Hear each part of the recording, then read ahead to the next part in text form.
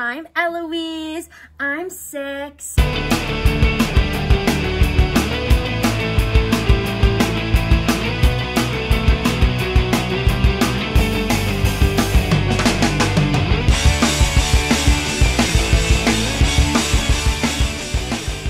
take him back right now, would you? No. But why didn't you want to marry me? What's the matter with me? Nothing. I'm difficult. You're challenging, I'm, I'm too structured. I'm completely closed off. but in a good way. No, no, no. I drove him away.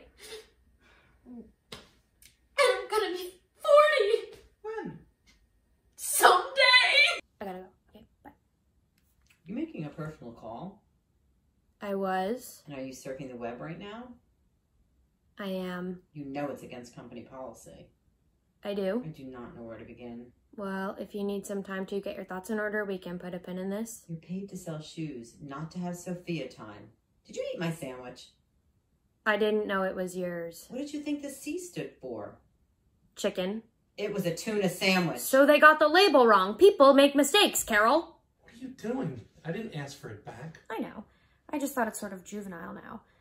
I'll keep it at home. It won't be so uh, conspicuous. You don't want to wear it? Steve, I understand. I'm not upset. I can't expect you to be a monk or something while you're gone. Since we love each other, we should be able to trust that we can have some freedom. You'll meet intelligent girls in your classes, and obviously I'll have intercourse with some of the boys here. Uh, neither of us wants to... What? What'd you say? I said I'll have intercourse. No, intercourse. don't say it. I never asked you to martyr yourself. That's not fair.